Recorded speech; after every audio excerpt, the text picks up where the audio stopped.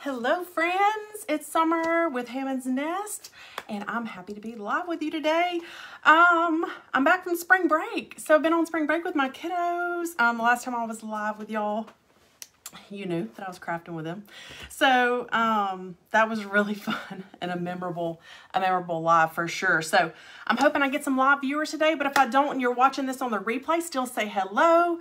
Tell me what you think about this cute and simple project. If you blink, this project will probably be over. It may take me a little bit longer, but I have a little bit of time before I go run to get in car line, so I wanted to spend that with y'all because I'm so excited. I, I miss my kids. Of course, I miss my kids so much. And they went back to school for the first time today from spring break. But uh, there's just something I'm just better about being kind of in work mode. I'm truly blessed to do this for a living and it's so super fun but it's definitely, you know, it's work. And, and I, um, I had to take a step back from spending so much time in the studio this past week. And, uh, and that's why I've kind of been quiet. So we had such a blast. Normally we would go out of town for spring break, but, um, we just made the best of a staycation. So if you kept up with the couple of posts I shared, we just did like everything there was to do. we went bowling, we went to the zoo, we went to the aquarium, we went to the park, we went to multiple parks actually, and just did nature walks and did playgrounds and did all that fun stuff. So that's what I've been up to the past week, and that's why I've been a little bit more quiet. But I'm excited to get back in the studio. I've got to finish up some Easter projects and some spring projects, and I want to show them with you. I show as much as you can, and I still have to do my spring mantle. And um, so I've got a lot to do, as, as we always, uh, all of us do. But it's good to see you, or you to see me. I see your names coming in um, and excited to spend some time with you. So let me get this pulled up so I can see your comments over here. I appreciate those chatting in the comments, um, throwing hearts and thumbs up to let me know you're here. That sends Facebook a good message that you like what you see. So you'll see more of me pop up in case you aren't on our text list and get our live notifications. They'll let you um, see more of me. So I appreciate that so much. And um, so here's what I got for you. Now, hey, all you beautiful people. Tabitha and Cynthia and Jill and Mandy from Western Grace. Uh, Mary, hey, Mary Jane. And Cynthia and Shonda and Vicki and Alicia. I see a few. Appreciate y'all. Hey, my Canadian friend Karen, how are you? Um, I hope I don't have a bad connection. It was kind of showing me I did, so hopefully it is all well and good. But um, in between all that spring break fun, y'all, I have had a horrible earache. I know, but there's so many other things could be worse. But I've been on antibiotics because I don't know what happened, but I just had the most awful ear infection. And um, that keeps me from doing a lot of things. Like I had to be pretty careful and kind of protecting um, that pain in your ear because that is no fun, right? Any of y'all that's ever had an ear infection?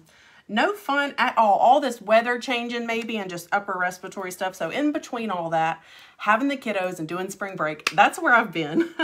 that is why I've been a little bit more quiet. Um, oh, hello, Nancy in Michigan. And it's Cynthia says it's raining in Kansas. We're supposed to get some a really a lot of rain here in North Louisiana um, later tonight. I actually just got one of those um, like weather warning texts that it was going to be like flash flooding. So, you know, prayers there. I hope that that all stays away from us really and not as bad as they're predicting. So thank y'all so much for sprinkling Cricket. You're so sweet for those stars. Thank you. Well, let me get to this, uh, take a few minutes to say hi to y'all because it means so much for you to uh, hang on with me live. This one is so super simple. I hope you don't think it's just like too simple. It's not even that special, but here's the, here's the deal. There's so much that y'all could do to make this one your own, and it is so simple, easy, that I almost didn't even consider sharing it, but I'm making some for my house. So y'all get in on that, right? And uh, I'm going to make several of these off camera. I'm going to make one with you real quick. I'm going to make several off camera, and then I'm going to share what it looks like all together. But I'm using these. If anybody else has any of these or has done this, let me know. But this $3.99, of course, I did pay $3.99. I got it 40, 50% off uh, for the Easter crafts. And these are just the big foam. They're made of foam um, eggs. And I am going to just do a fabric wrap. So I actually have another one already made in a different color that I'm going to show you at the end of the video. And then, like as promised, I told you I'm going to make a bunch more off camera and I'm going to style, I say a bunch more, but enough to do like a bowl and a bowl full of them. And hopefully you like this idea and it inspires you and you make some of your own. Oh no, Pamela says it's thunder and lightning where she's at in Kansas. Those spring storms. We love spring, but with it comes those showers that those flowers need and all that good stuff. Hello, Kim from Kansas. Thank you so much. My ears, I couldn't be talking with y'all live today doing this. I couldn't even barely hear my, I didn't even want to hear myself talk because it hurt so bad. Um, the kids and the husband did a great job of trying to keep some of the screeching down. I had to skip some of the music yesterday at church. I had to like wait and go in for the sermon because some of the loud music in there, um, just trying to protect my eardrums, you know, that hurts. This is no fun. It's just like this pain that sticks with you. um, thank you for that. I appreciate that very much. So we got one fall mag I said I'm going to do on camera here for you. Look at this fabric. A lot of y'all ask me all the time and I'm happy to share resources um, have no problem telling you where I get things from. This one came from Hobby Lobby. And that is honestly where, there may be a few that I get from Walmart. Because we don't have a Joann Fabrics here. Um, and I Michael's is kind of a far drive for me. Does Michael's have fabric? I don't think, I don't even know if Michael's has fabric, honestly. That's how much I don't really shop at Michael's that much. Um, because it's in a different town a little bit further away from me. And, uh, but I get most everything from Hobby Lobby. So a lot of what you see. Uh, we're going to do that whole pretty uh, ripped fabric thing. And hi, Deb from Ohio. Hey, Jen. How are you? And if you've never seen me rip fabric before, this is just the end piece. I'm going to get rid of that. if you've never seen me rip fabric before, you just take a little slit, you know, a piece of your, um, your scissors and just cut a little snippet to get it started like, like so. And then it's very therapeutic. And um, I'm not kidding when I say that I love fabric. Y'all see me use fabric all the time. So um, the ripped fabric is definitely one of my favorite looks. That's why you see me feature it so often. But I'm going to go ahead and make sure I have enough strips just to work with. So I don't have to worry about cutting any more before I finish this egg with y'all. So, thank y'all so much for those hearts and saying hello. That means so much. The eggs, these came from Hobby Lobby. Like in the crafty, the crafty Easter section. Um, they were like $2 for 12 of them. Maybe 250 something like that. Um, Hancock Fabric Store, I'm not sure, Mary.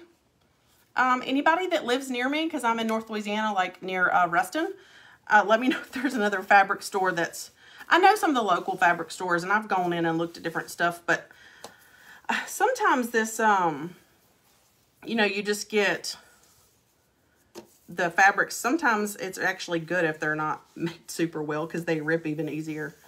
But um, I really like the selection at Hobby Lobby. And so I tend, because I'm in there so much as it is already. So, Oh, I'm sorry your your Joann's is closing. I've I've heard so many people mention Joann's and um, I do wish that I had one near me. All right, today I'm just got some regular hot glue. That's all, nothing special. I'm gonna start a little bit on the top. And when I tell y'all, if you were here right when I hopped on, I said this is so easy. But what if you haven't thought about it? what if you really, really like the way this looks and then the next time you're in the store, you grab some eggs, I will be so happy that this gave you a cool idea. Some really hot glue. I might should have turned it down on low temp. Um, I probably should have my finger protectors on. I go ahead and do that just in case. Yeah, I don't really know. There was one um, in Monroe near the college. That might be the one you're talking about. near uh, NLU, ULM. But I think that was Hancock. And I don't, to my knowledge, it's not open anymore, but I may not, not know. Okay, so To keep wrapping. And what I'm doing here, if y'all watch me make like the fabric carrots, it's just kind of a similar, you're just kind of squinching. I made up that word. It's a terrible word. Uh, you're just kind of gathering the fabric and doing a little bit of glue at, the, at a time. I wouldn't try to like put glue. It might look cool like that. But I liked the way this technique looked. Gave it a little bit more movement. Which the fabric's already great because it has a lot of texture, obviously, which is why I'm so drawn to fabric projects. But um, the fact that you're kind of like gathering the fabric like this, it just gives it a lot more texture. So let me keep gluing and talking. And um, keep that out of my little thing there. You can work as fast or as slow as you want to. I probably should have this finger protector on my thumb, now that I think about it. I'm looking at the two primary fingers I'm using.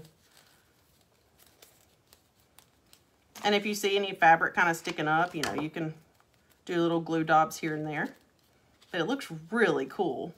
So what I'm thinking is I'm going to use, I have a few different fabrics, fabrics and I'll show y'all here at the end of the video because I'm not going to be on for very long. It's going to be pretty quick. And I'm going to show you the few different fabrics that I'm going to make some of and the little bowl that I'm going to style it in. It's a little milk glass bowl. And I think I'll leave them in there, but who knows. When I'm starting to drag out all the rest of um, the Easter and spring stuff, trying to finish styling different places in the house, I might um, use in different places. You know how that goes. Are y'all like that? You have intentions of using something somewhere in particular, but then as you're doing the process, you know, that could change. You just never know. Linda Delutri, thank you so much for sprinkling. Uh, Maggie, uh, this is just a regular, just cotton fabric. It could be like a blend. I'm no fabric expert. I just know when I go into a store, I like the way something looks or feels. Um, I buy it for those couple different reasons. I don't tend to use anything heavier, like, what is it, like duck cloth is what they call it, maybe? Like, I don't tend to use that kind of stuff. I use stuff that's typically a little bit more thinner, like a muslin, maybe a little bit heavier than a muslin. And then I really do love, if you've been with me for a little while, you know how much I love uh, repurposing the canvas drop cloths for um, fabric. So you can cut those up and use those like fabric too.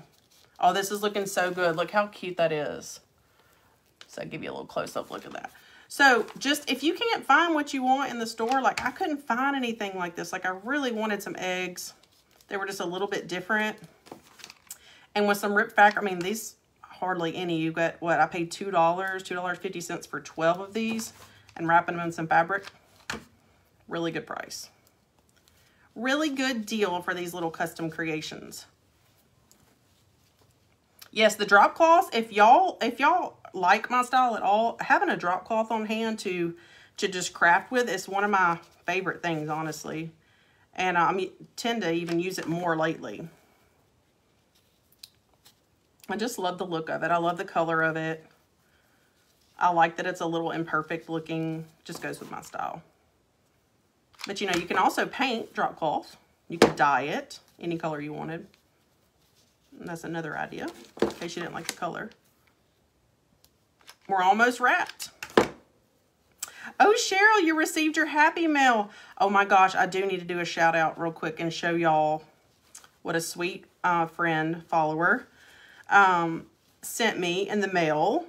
And I insisted on something I was looking for and she saw me comment about it. And um, and she insisted on sending it to me and would not let me pay her. I'm going to show y'all what she sent me and y'all, and I'm going to do a little thank you to her. That was so sweet. Okay.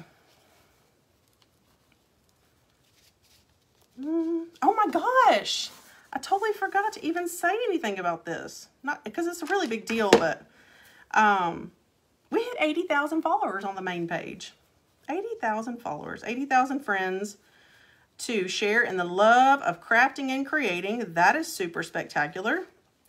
And kind of came out of nowhere because what happened was, yeah, you can do stencils on the drop cloth. Um, I have a little drop cloth project planned. Um, another one.